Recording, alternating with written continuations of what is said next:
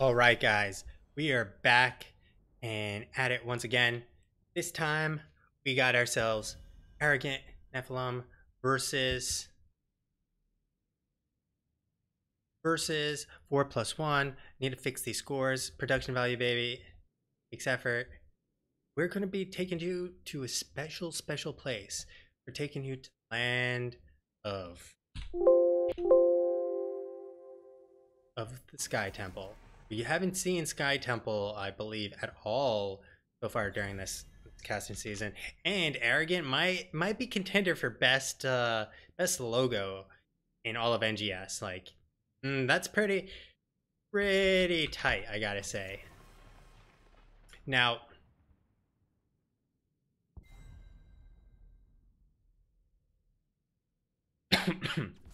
excuse me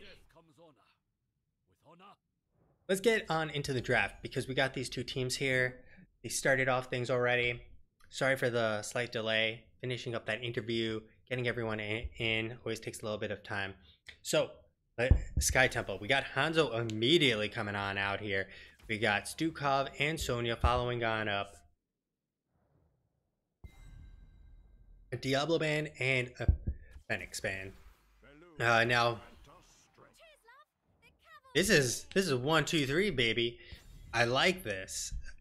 Arrogant Nephalem really knows what they want. I like the Hanzo. I like the Malf Tracer.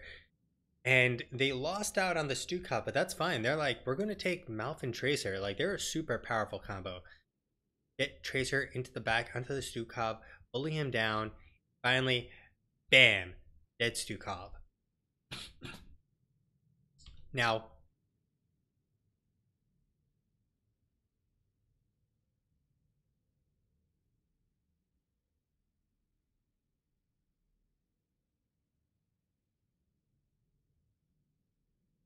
Now, who else can you choose here? And who can you ban here? They have everything other than a tank and a solo laner. So you need to decide which tank or which solo laner you do not want to face is Sonya. There's Blaze, there's Leo, there's Malthael. Now, this does tell you they are going to play a solo warrior. Um, I'm sorry, they're not going to play solo warrior. Uh, but if they played Malthael, which is most likely not going to happen, then they're probably playing Blaze or Leo. So you opt for who you don't want to see, which is usually Blaze. Usually. Now, Leo is actually pretty good against their comp so far in that Sonya and Stukov don't have the tools necessarily to get out until much later.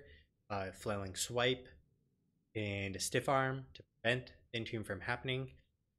Now, Garrosh ban is really good. I really like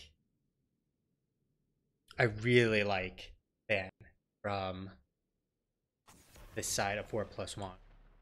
That's because he's a pretty potent tank.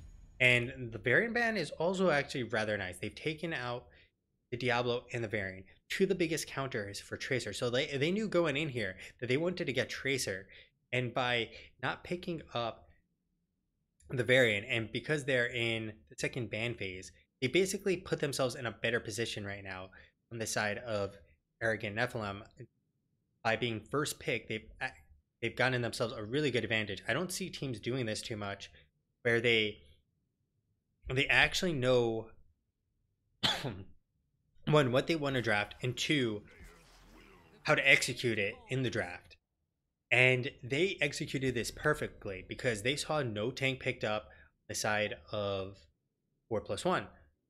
So four plus one can't pick up a tank because you're now in the second round of banning. Oh, we already picked Tracer. Hmm. Now we get to go and guess what? We get to go and get no Varian here either. So like good luck locking locking down the Tracer. So the Greymane and Johanna. I like the gray main here because at this point they have yet to show CC side of Arrogant Nephalem and Johanna with Greymane will allow well Johanna will will reduce the damage Tracer can put out, which means more free damage on the side of Greymane into Tracer in the trades. The Sonya will be the solo lane, obviously, so I'm pretty certain we'll see a Blaze here. We can see a Muradin here. You could see even an Arthas here, a Blaze in Arthas. and we're going to see the ETC. So the ETC is interesting choice because he has no real capability to mosh in this team comp versus 4 plus 1. On the other hand, 4 plus 1 has, well, they they have all the interrupts, all the tools they need there. But ETC can go stage dive. Stage dive is still a potent tool. It's it's a tool that allows ETC to play split and blaze. Basically what you do is you have blaze until 10 play as the solo laner. 10 and after you have ETC play as the solo lane. And then ETC stage dives in for any fights that should break out. And if they're not matching ETC in lane, then they're losing XP and or they're getting structures taken from them slowly but surely. So I really like what Arrogant Nephalem has done. I, I like I said, they've come in with such a good control of this draft that not sure these guys should be in division division C. I think these guys are kind of sandbagging it uh, because that's kind of scary. now, I don't know about the Kael'thas pick. Um, I'm going to say it right now. Like the Kael'thas pick makes no sense to me because Tracer is going to dance around Kael'thas. Kael'thas is a squishy target that Tracer kills really easily because he can drop the bomb on her, but he can't land the combo usually on her. If he can't land the combo on her, well, she just basically pokes him down for free. So we're, we're now loading up onto this match. I'm giving I'm giving the keys to the the temple to Arrogant Nephalem. Let's actually take a look at the standings between these two teams. See what we might be able to expect here. Arrogant Nephalem has gone two, three, and one. So two wins, three draws, one loss. So Arrogant Nephalem is actually looking very strong. They're in the top. Uh, they they are number six, and two, three, four, five, and six are very close. We're talking 13 points at two, 11, 10, 10, and 9. So a domination victory here catapults them to number 3. 4 plus 1, on the other hand, are zero, one, and 5. But don't let your dreams just be memes. Because, well, we just saw Screaming Weenies take a win from Pork Slap. Not just a win, but two wins. and they had yet to even get a single win all season so far. So four plus one is still in it to win it. So let's introduce these two teams. Got Null Pointer on the Malfurion, the Kil'jaeden on the Tracer, got Trabe on the Hanzo, Segatai on the ETC, and Kime or Kaim.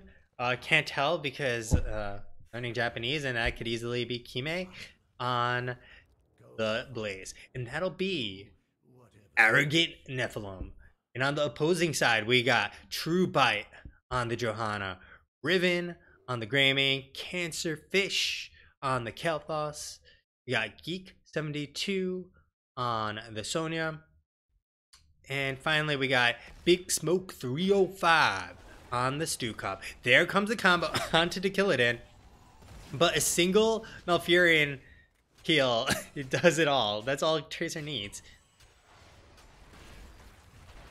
Oh, oh, production value, production value. Sorry, we didn't flip into the game. Ah. Uh, okay, it's only level ones, and didn't miss anything too exciting there, except my team introduction. So, nice light coming out from Segatai. He does have the bomb on him. He, the bomb does spread onto Null Pointer. Not too big a deal. Recall coming out from Kil'jaeden. Mid lane is uh, pretty even because they do have the Malf to heal them up. In the bot lane, however, Kime, Time, uh, hopefully one of the two. Hopefully it's not something crazy. We'll, we'll go with Kime for now. Um, he has held this lane. Sonya in the top, dealing with the Hanzo. Um, Hanzo has redemption, so this is okay. There's the Tracer. Not going to be able to do anything much there. Blinked on back with uh, that recall. We got the Pulse Strike, we got Adrenaline Stimpak, Nature Swiftness, and finally Prog Rock. On the other side, we got the Tough as Nails, the Perfect Aim, Laws of Hope, Mana Addict, and Growing Infestation. I'm glad he actually took Mana Addict because I see so many people take it and not actually, or sorry, take Convection and never complete it. Uh, the Perfect Aim is interesting. I'm not actually a fan of it against this team necessarily. Well, and let me take that back. Against all this CC now that he has to face the root, the slide, and knockback, and another sound from Blaze, Greymane can't actually commit to fights. This is where I always feel like Greymane feels like half a hero. He'll, he'll be having to play ranged most of it. Okay, we got Kime. Kime is indeed. Um.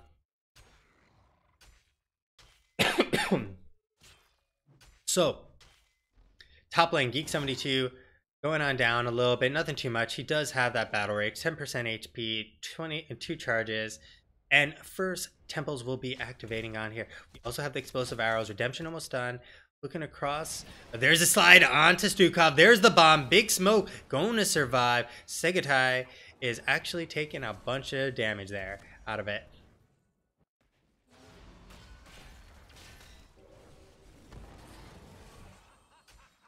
So, mid towers, we got Johanna on the point. True Bite just dishing it out. She should not have the bomb available. Um, it's only at 15% right now. And there is a stun coming on out onto Riven.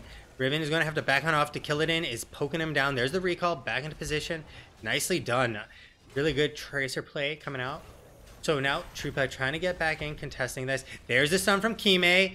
Three-man stun. They've now pushed him off. There's the root. Johanna. Riven trying to trade on out with in, Doing pretty well, actually. And they will regain control of the midpoint on the side of Arrogant Nephalem. On the top lane, however, we have Hanzo just sitting on up here. He needs to rotate down. Like, Soken is okay, but, like, just come on down.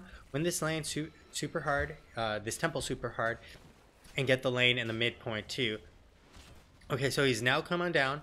We have fours and sevens about to come on up. Uh, in on Stukov. He has nowhere to go. Kime trying to get on in. Doesn't land the stun. He will back on out. So, we got temples done. Segatai coming on in, sliding onto Cancerfish. Cancerfish has nowhere to run. There's a follow-up stun. There's the bomb. Say goodbye, because Cancerfish, you've been, uh, you've gotten chemotherapied. So, the map's pretty even. We have the front wall down. Got front wall down. Sonya is is still beating Trabe up here as, as to be expected. Uh, but he does have the explosive arrow at this point, which really helps. But Geek72 missing the critical stun on to kill it in. There's the root. I don't think he's going to be able to kill him. Okay. No bomb up. If he had the bomb up, they would have actually secured the kill on Sonya, which would have been really nice as you can see Trape has to fall back. HP, uh, there's the mana, so he's back in action. And this was a really nice steal between Kibe and Segatai. I didn't even point this out while that was happening up top with that gank. Arrogant Nephalem picking up the siege on their side, both camps, and they really had themselves a nice advantage now. Uh, no, no siege to pressure against them.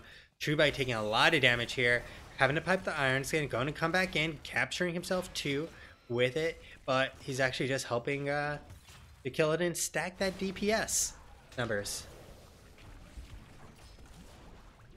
Now, Sonya still pushed all the way up because she has tough as nails here. Han Hanzo is not going to be doing as much because, well, his attack is on the slower side. Redemption kind of helps counter that if he actually completes it, it'll help counter that.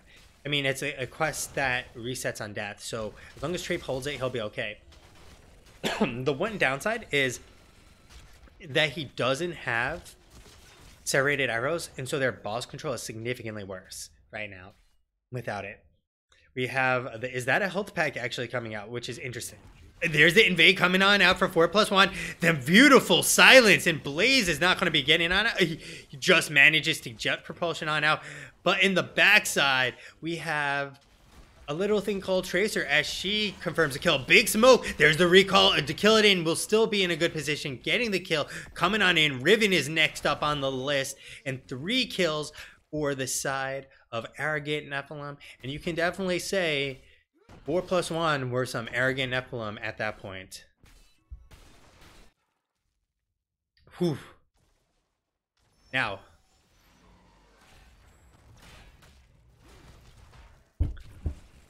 to kill it in making the plays, and he does have bullet time. He has the health pack, so even though he gets low, he heals up pretty quickly. Between him and Malf, or sorry, between that and Malf, he'll be able to heal really, really well.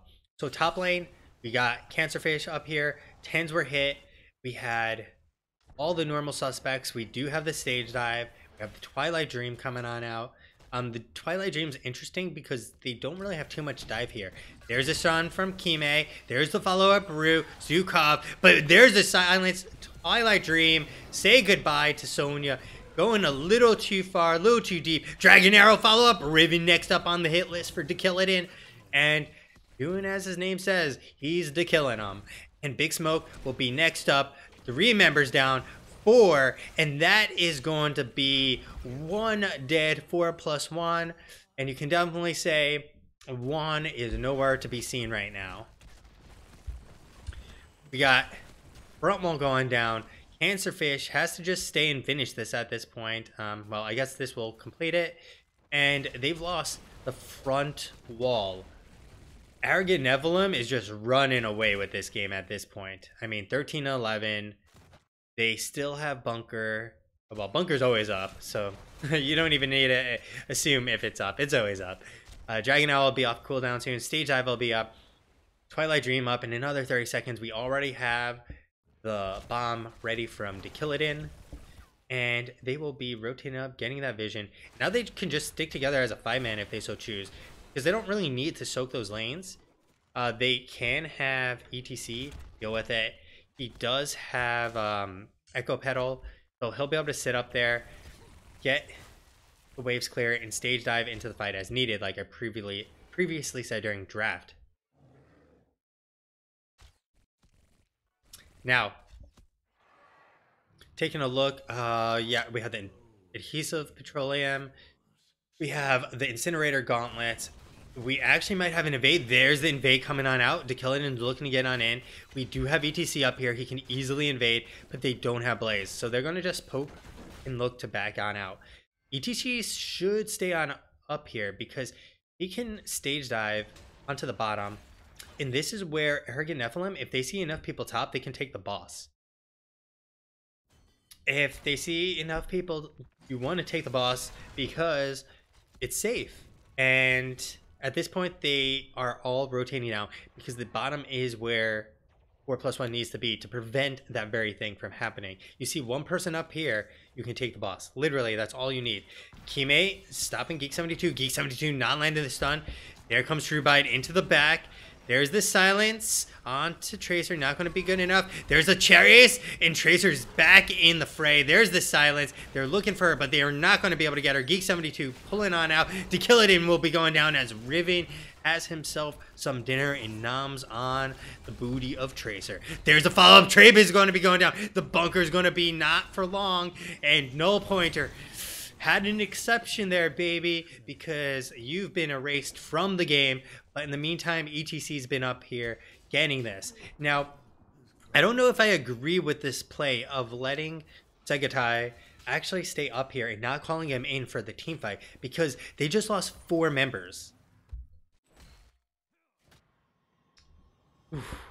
That team fight definitely hurt the soul because they they had the advantage. They had EC Gems pushing on in. Now they have to deal with this Knight Camp pushing on in. And taking a look at the rest of the talents, uh, we still have no 13 picked up from Sonya. We have the Running Wild, Go for the Throat. Incendiary Elixir has yet to get a single stack. That's not looking good. Uh, we got the Conviction, the Blessed Momentum, Blessed Shield, Holy Fury, the Vision Bomb. We going, we going bombing, baby. Uh, we also have the Sun King's Fury there. We have the typical uh, lurking arm build. We don't have it fully with the root. We have the the lingering spines instead. 16s have now been hit up, hit by the side of Arrogant Nephalem.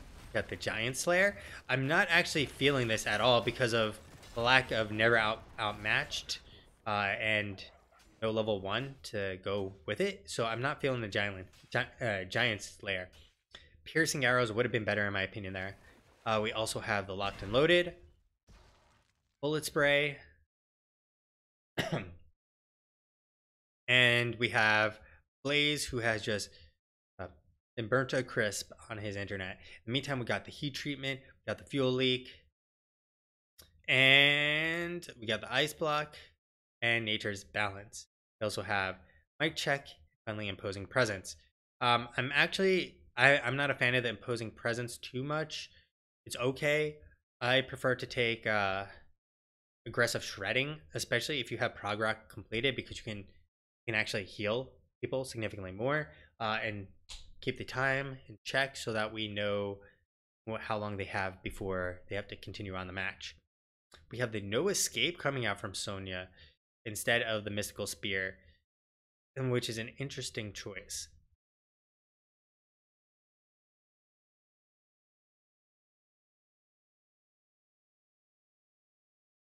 So let's discuss what's happening in this game right now. We had the boss picked up. We have Blaze AFK'd because of the DC. We have the siege being picked up. They can pressure bottom as a team with 16. Uh, they don't have their bruiser camp up for a while. Enemy team has their bruiser camp. They could make the risky play, or maybe not so risky if you pay attention to what's on the map. Uh, bruiser camp pickup because they are getting the front wall. That that front wall might fall down, and next temple phase will be on the top, which will then start focusing on which will then start focusing on these towers which have already sustained damage.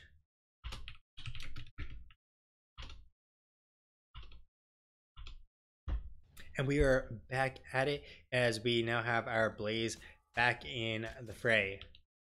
So we got the siege coming on up. Uh, and let's see. So Bruisers have now been picked up. That boss was cleared out. Did relatively nothing, it appears. But it's off the map, which is good. And now they're going to pressure top as 5 and clear up this knight camp. Top is, like I said, you have Blaze now as your main tank, really, with the team. You have ETC stage dive into the fights. And once he's into the fight, that's when, you know, it really begins.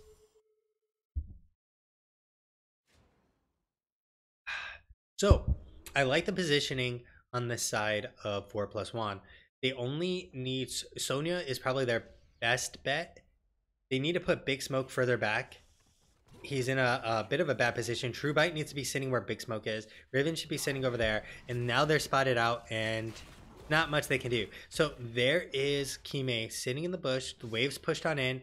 They'll keep vision. Sonya has now popped the Wrath to kill it in, looking for someone. There's a blind. She gets trapped in the corner, but will be able to get out. There's the stage dive. ETC in no man's land, taking the damage, getting chunked on down. Riven look for the kill. Dragon's Arrow has come on out. Trape has been chunked on down. Kime in the fray. There's the stun. One man stun to kill it in has now been hit. The recall comes on out. A three man root, and they're looking for kills potentially. Geek 72 getting chunked now. Segatai, this is why you went aggressive shredding because aggressive shredding, you'd be healing your team up. We got Geek72 back on the point, trying to get the value out of it. Riven getting focused on down from to kill it in. We got Cancerfish, Big Smoke, and True Bite coming on in to try and peel. Geek72 coming on in. Kime taking damage. There's the Whirlwind. There they go, back backing on off, but Riven, Riven now getting stuff from Kime, and Kime will be securing that kill. Geek72, say goodbye. No, Geek72 to kill it in, secures that kill, and we have a, just a rough fight for both teams as damage is spreading across, but they manage to stay in the fray and secure themselves the rest of this temple. So, ETC, oh, ETC, you almost spotted him. He doesn't go in, doesn't see them, doesn't step into the bush, and that's my temple's power. and that's what you want to keep in mind. That if you're if you're a tank player and you're up check the bush. And you also didn't need five people sitting up there, which technically was four. You want Segatai to come on in. You want to come on in with the rest of the team. Uh, Kimi taking a lot of damage there. There's the kill. Now going to come, drop the damage, ensure that he doesn't continue to aggress Kimi, and Blaze will walk on out.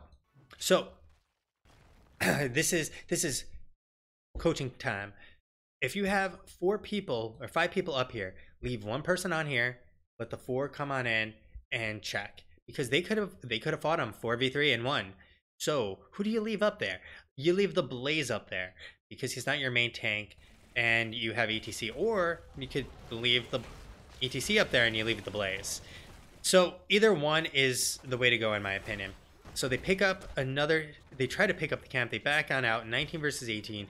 So Arrogant Nephalem just really needs to play for 20 at this point. They're full level ahead.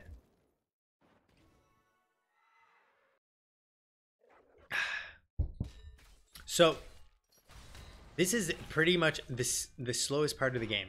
This is basically no objective for quite a while. There'll be two temples. Uh, once 20 is hit, so we got 30 seconds before temples are hit. Neither team will hit 20. So this is where 4 plus 1 needs to ensure they can get a kill. If they can get a kill here, they can get themselves back in the game because they'll get themselves the XP needed to even things up. So how are they going to split? ETC is going to be sitting in the mid lane, soaking it up. Uh, or is he rotating top? He's getting vision this is very dangerous. He has no one with him on his team. He could stage dive up, but they have a blessed shield.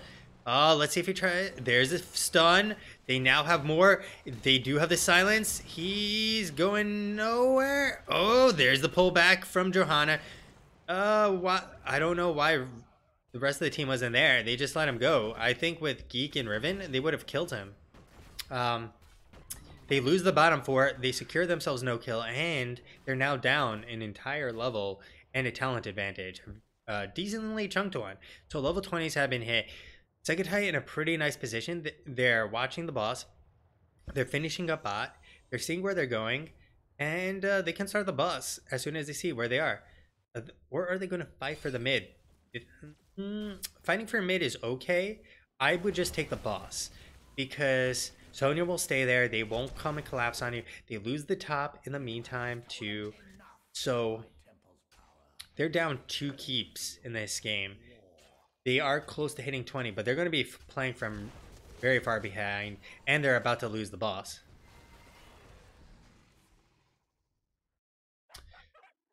So, what do we have here? At 20, we are 16. We have the Twin Spheres, uh, so the double double bombs, so he can actually sorry triple bomb you. Uh, DW DW DW. And 27. Hey. We got the play of the game. We have the total recall. Total recall coming on out. Interesting. Uh, Burn Notice, Life Bloom, and Death Metal here. So I don't know if they'll be able to stop this boss. There's a stun. There's a stage dive onto the backline. Riven and Cancerfish getting caught in between a rock and uh, ETC. There is the Pyroblast? Pyroblast doing absolutely nothing, getting interrupted there. Redemption back online. Bunker coming on now. Boss is working on the core. Say goodbye to True Bite and core is going to be melting at this point. There's no three man stun coming out from Kime, but that's all she wrote. As core just needs a single person, and that is the boss to finish it off. Very well played on the side of arrogant Nephalem. A few mistakes here and there, and a lot more on 4 plus 1. So, game one going on to the side of Arrogant, and we'll be back with game number very shortly. So, sit on tight while I get that ready. But before that, let's take a quick look at the stats. Um, if I get the game results, there we go. Damage, Tracer 43k, Hanzo 41k, Blaze 34k, Cancerfish 30k, 22. I mean, like the DPS numbers basically tell the story. Top three DPS, all on the same team. Closest damage is uh, entirely 10k behind. Not enough damage from the Sonya, not enough damage from Riven. Um, it's actually very bad. Like in general, this and these DPS numbers from their Sonya and from uh, their their Greymane. I mean, we had Johanna dishing out as much damage as Sonya, and she has a whole noodle. To be honest, uh, so yeah, let's let's get on to game number two. So sit on tight. I have a few replays from that game, I believe. So let me just